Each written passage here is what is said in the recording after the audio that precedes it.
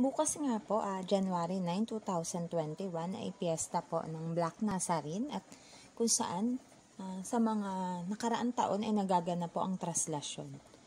Ngayong taon na ito, ah, wala po tayong magaganap na pinakang traslasyon, ngunit ah, ang atin pong Quiapo Church at ang mga kalapit na simbahan ay sigurado pong dadagsain pa rin ang mga deboto.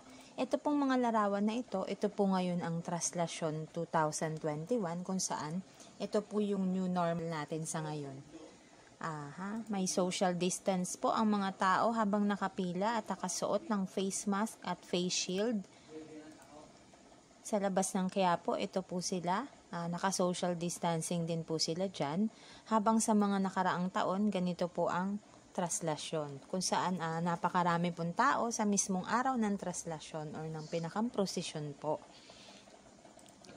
Ito po yung mga schedule ng misa. Base po ito sa FB page ni Mayor Isko Moreno, ang mayor ng Manila po sa ngayon. So, bukas po, ah, ito po yung mga schedule, 4.30 ng umaga, ito po yung magmimisa, 5.45 a.m. si Father Frank Villanueva, 7 a.m. naman po ay si Father Robin Custodio. 8.15 a.m. Father Arnel Calata. 9.30 a.m. Da- Father Daniel Huwi. At sa 10.45 a.m. si Father Anthony Selva. 12.15 ng tanghali si Father Paul Medina. 1.30 ng hapon si Father Dale Orda. 2.45 Father Leo Ignacio. At 4 p.m.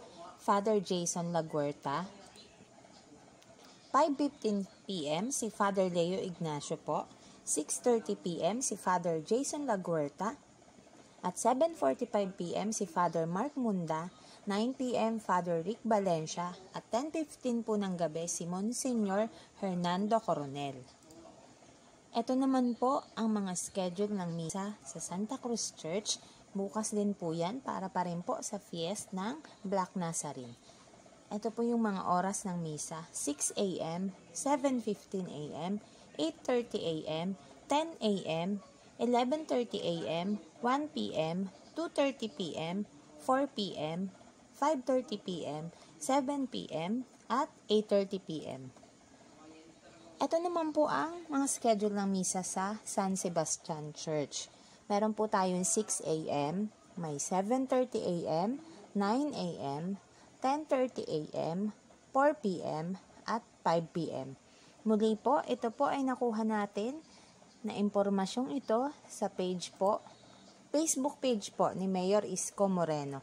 Nawa po ay maging maayos ang magiging pagbisita ng ating mga deboto sa bawat simbahan bukas uh, mag-ingat pa rin po, lalo na po, uh, meron pa rin po tayong virus na kumakalat. Hindi pa rin po tayo tuluyang nagkakaroon ng vaccine laban po sa COVID-19.